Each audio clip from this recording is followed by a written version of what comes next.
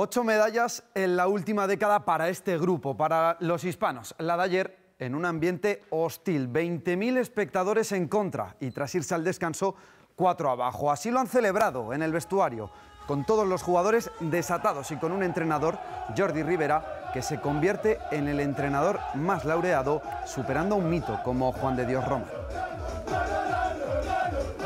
España ha revalidado el bronce mundial. Los hispanos vuelven a ser el tercer mejor equipo del mundo, como ya lo consiguieron hacer hace solamente dos años. Esta vez han ganado esa lucha por el bronce a Suecia, una selección con la que había cuentas pendientes, porque el año pasado fueron los suecos quienes ganaron la final del europeo de balonmano en otro partido épico, como nos ha acostumbrado España en este Mundial. Eh, los hispanos han remontado los cuatro goles de diferencia que llevan los suecos al descanso y han vuelto a imponerse en un partido muy importante en el que además hicieron un grandísimo balonmano, sobre todo en la segunda parte para remontar.